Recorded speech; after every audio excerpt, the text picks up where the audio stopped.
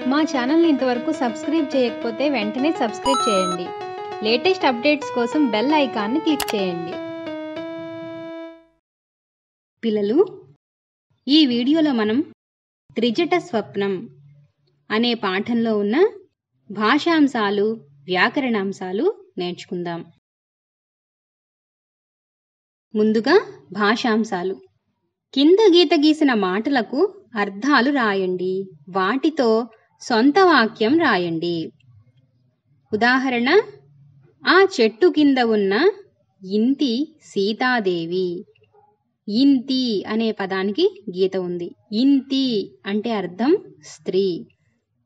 సొంత వాక్యం మనం స్త్రీలను గౌరవించాలి.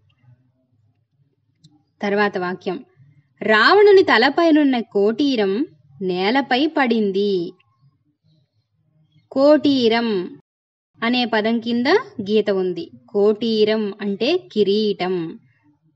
సొంత వాక్యం ప్రజాస్వామ్యంలో రాచరికాలు కిరీటాలు లేవు. తర్వాత వాక్యం ఈ ఉర్విపై మనమంతా నివసిస్తున్నాము. ఉర్వి అనే పదానికి గీత ఉంది. ఉర్వి అంటే భూమి. సొంత వాక్యం ఈ భూమిని జాగ్రత్తగా కాపాడాలి. తర్వాత వాక్యం.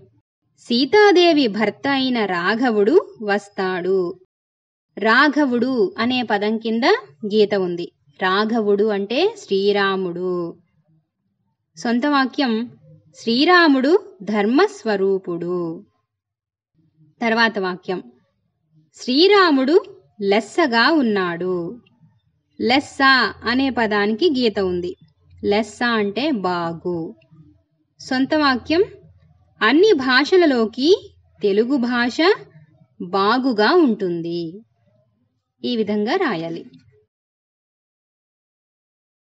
తర్వాత కింది వాక్యాలను చదవండి. ప్రతి వాక్యంలోనూ ఒక పదానికి అదే అర్థం వచ్చే మరొక పదం ఉన్నది. ఆ పదాలను గుర్తించి రాయండి. సమానార్థక పదాలు అని తెలుసుకున్నాం కదా ముందు పాఠంలో. అదేవిధంగా ఇక్కడ కూడా రాయాలి. ఉదాహరణ భూమిపై మనం నివసిస్తున్నాం. ఈ ధరణిలో మనతో పాటు అనేక ప్రాణులున్నాయి. వీటిలో భూమి ధరణి ఈ రెండిటి కింద గీత ఉంచి గుర్తించాలి. ఇదే విధంగా మనం మిగిలిన వాక్యాల్లో సమానార్థక పదాలను గుర్తించాలి.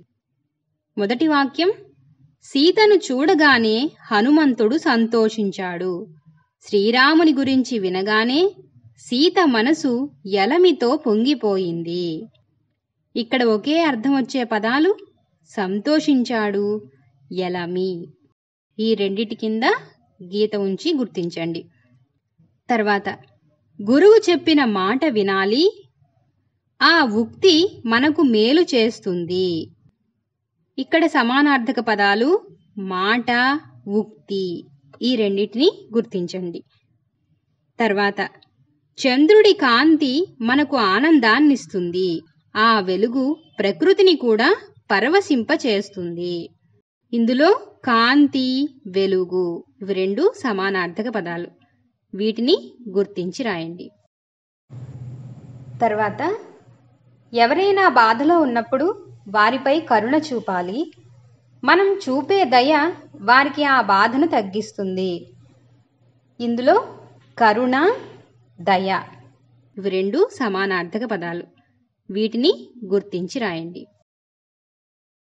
తర్వాత కింది పదాలకు ప్రకృతి వికృతులను జతపరిచి రాయండి. మనకిక్కడ కొన్ని పదాలున్నాయి. వాటికి ప్రకృతి వికృతులను జతపరచాలి. ఉదాహరణ భాష. దీనికి వికృతి పదం బాస. అలాగే అంబా అనే పదానికి వికృతి పదం అమ్మ. తర్వాత నిద్ర అనే ప్రకృతి పదానికి వికృతి నిదుర. ఈ విధంగా మీరు ఇక్కడ ఖాళీల్లో రాయండి. తర్వాత వ్యాకరణాంశాలు. కింది పదాలను విడదీయండి. ఉదాహరణ శుద్ధాత్ముడు. ఈ పదాన్ని విడదీస్తే శుద్ధ ప్లస్ ఆత్ముడు అవుతుంది. ఇదే విధంగా మనం మిగిలిన పదాలన్నిటినీ విడదీయాలి. తర్వాత పదం రామాలయం. రామ ప్లస్ ఆలయం. తర్వాత ఉదాహరణ రవీంద్రుడు. రవి ప్లస్ ఇంద్రుడు. తర్వాత పదం కవీంద్రుడు. కవి ప్లస్ ఇంద్రుడు. తర్వాత ఉదాహరణ భానుదయం. భాను ప్లస్ ఉదయం. తర్వాత పదం గురుపదేశం. గురు ప్లస్ ఉపదేశం. తర్వాత ఉదాహరణ పదం పితృణం. పితృ ప్లస్ రుణం. తర్వాత పదం మాతృణం. మాతృ ప్లస్ రుణం. ఈ పట్టికలో మీకు మీరు విడదీయాల్సిన పదానికి ముందుగా ఉదాహరణ పదం ఇచ్చారు. అదే మాదిరిగా మీరు విడదీయాల్సిన పదం ఉంది. శుద్ధాత్ముడు ఎలా అయితే విడదీస్తారో అలాగే రామాలయం. రవీంద్రుడు అదే ఉదాహరణగా కవీంద్రుడు. భానుదయం అలాగే గురూపదేశం. పితృణం దానికి మాతృణం. ప్రతి పదానికి కూడా ఉదాహరణ ఉంది. ఆ ఉదాహరణ గమనించి మనం మనకిచ్చిన పదాన్ని విడదీయాలి. పై మాటలలో ఈ కింది మార్పు జరిగింది.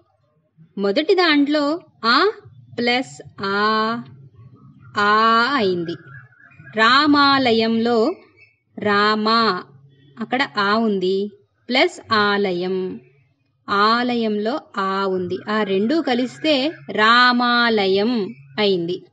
అలాగే రెండో పదాన్ని గమనిస్తే ఈ ప్లస్ ఈ ఈ అయింది. కవీంద్రుడు కవి ప్లస్ ఇంద్రుడు కవి. వీలో ఈ ఉంది ఇంద్రుడులో ఈ. ఈ ప్లస్ ఈ కలిపితే కవీంద్రుడు అయింది. తర్వాత పదంలో ఊ ప్లస్ ఊ కలిపితే ఊ అయింది. గురువులో ఊ ఉంది. ఉపదేశంలో మొదట ఊ ఉంది. ఊ ప్లస్ ఊ ఊ. గురూపదేశం. తర్వాత మాతృణం. మాతృ ప్లస్ రుణం. ఇక్కడ అరు ప్లస్ అరు కలిపితే అరు అయింది. ఆ ఈ ఊ అరు అనే వర్ణాలకు అవే వర్ణాలు సవర్ణాలు కలిసినప్పుడు తప్పనిసరిగా దీర్ఘం రావడాన్ని సవర్ణ దీర్ఘ సంధి అంటారు. ఆ వర్ణానికి ఆ ఆలు సవర్ణాలు. ఈ వర్ణానికి ఈ ఈలు సవర్ణాలు. ఊ వర్ణానికి ఊ ఊలు సవర్ణాలు. అరు వర్ణానికి అరు అరులు సవర్ణాలన్నమాట. పైన సంధి జరిగిన పదాలు సంస్కృత పదాలు లేదా సంస్కృత పదాల మధ్య జరిగే సంధులను సంస్కృత సంధులు అంటారు. పైన ఇచ్చిన పదాలన్నీ కూడా సవర్ణ దీర్ఘ సంధులే. ఆ ఈ ఉ అరు అనే వర్ణాలకు అవే వర్ణాలు. కలిసినప్పుడు తప్పనిసరిగా దీర్ఘం వస్తోంది. అవే వర్ణాలునే సవర్ణాలు అంటారు. ఈ సూత్రాన్ని మనం గమనించి సవర్ణ దీర్ఘ సంధిని గుర్తించాలి. సంస్కృత పదాల మధ్య జరిగే సంధులు సంస్కృత సంధులు అంటారు. తర్వాత కింది పదాలను విడదీయండి. ఉదాహరణ విద్యార్థి. విద్యా ప్లస్ అర్థి ఇక్కడ విడదీస్తే మీకు రూపం ఆ ప్లస్ ఆ అయి ఆ వచ్చింది. విద్యార్థి. అలాగే మిగిలినవి. కవీశ్వరుడు కవి ప్లస్ ఈశ్వరుడు కవీశ్వరుడు. ఇక్కడ ఈ ప్లస్ ఈ కలిపితే ఈ అయింది. అలాగే కోటీశ్వరుడు కోటి ప్లస్ ఈశ్వరుడు కోటీశ్వరుడు. ఈ ప్లస్ ఈ కలిపితే ఈ. వధూపేతుడు. వధూ ప్లస్ ఉపేతుడు ఊ ప్లస్ ఊ ఊ. వధూపేతుడు అయింది. తర్వాత పదం దేవాలయం. దేవా ప్లస్ ఆలయం. ఆ ప్లస్ ఆ ఆ. ఇవన్నీ కూడా సవర్ణ దీర్ఘ సంధి పదాలు.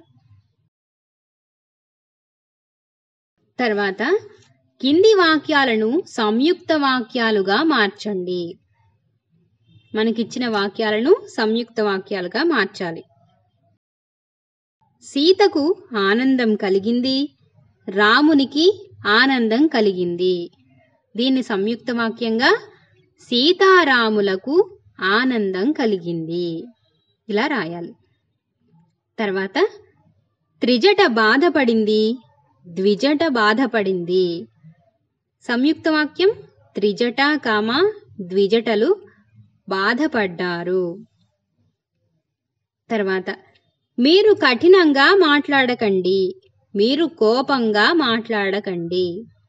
సంయుక్త వాక్యం మీరు కఠినంగాను కోపంగాను మాట్లాడకండి. తర్వాత హనుమంతుడు గొప్పవాడు హనుమంతుడు మంచి భక్తుడు. సంయుక్త వాక్యం హనుమంతుడు గొప్పవాడు మరియు మంచి భక్తుడు. తర్వాత అపర్ణ సంగీతం నేర్చుకుంది అపర్ణ నృత్యం నేర్చుకుంది. సంయుక్త వాక్యం అపర్ణ సంగీతం మరియు నృత్యం నేర్చుకుంది. ఈ విధంగా ఈ వాక్యాలను సంయుక్త వాక్యాలుగా మార్చాలి. తర్వాత ప్రశ్నార్థక వాక్యం వాక్యంలో ప్రశ్నను సూచించే అర్థం ఉంటే దానిని ప్రశ్నార్థక వాక్యం అంటారు. ఉదాహరణ త్రిజట ఏం మాట్లాడుతుంది? సీత ఎందుకు బాధపడింది? ఇలాంటి ప్రశ్నను సూచించే అర్థం ఉన్న వాక్యాలని ప్రశ్నార్థక వాక్యం అంటారు. మీరు కొన్ని ప్రశ్నార్థక వాక్యాలు రాయండి. ఇప్పుడు మనం కొన్ని ప్రశ్నార్థక వాక్యాలు రాద్దాం. మొదటిది హనుమంతుడు ఎవరిని చూశాడు? తర్వాత వాక్యం. త్రిజట తన కల గురించి ఎవరికి చెప్పింది? తర్వాత వాక్యం. సీతాదేవి భర్త పేరేమిటి? మీరు రాసిన ప్రశ్నార్థక వాక్యాలన్నిటికీ కూడా చివరన ప్రశ్న గుర్తు తప్పనిసరిగా ఉంచాలి. అప్పుడే అది ప్రశ్నార్థక వాక్యం అవుతుంది. తర్వాత ఆశ్చర్యార్థక వాక్యం వాక్యంలో ఏదైనా ఆశ్చర్యం కలిగించే అర్థం వచ్చినట్లయితే దాన్ని ఆశ్చర్యార్థక వాక్యం అంటారు. ఉదాహరణ ఆహా ఎంత బాగుందో! ఔరా సీతారాముల రథం ఎంత ముచ్చటగా ఉందో! ఈ విధంగా వాక్యంలో ఆశ్చర్యం కలిగించే అర్థం వస్తే దాన్ని ఆశ్చర్యార్థక వాక్యం అంటారు. మీరు కొన్ని ఆశ్చర్యార్థక వాక్యాలను రాయండి. మనం కొన్ని వాక్యాలు రాద్దాం. మొదటిది ఆహా అరణ్యం ఎంత పచ్చగా ఉందో. అరణ్యం అంటే అడవి. అడవి చెట్లతో పుట్లతో పచ్చగా ఉంటుంది.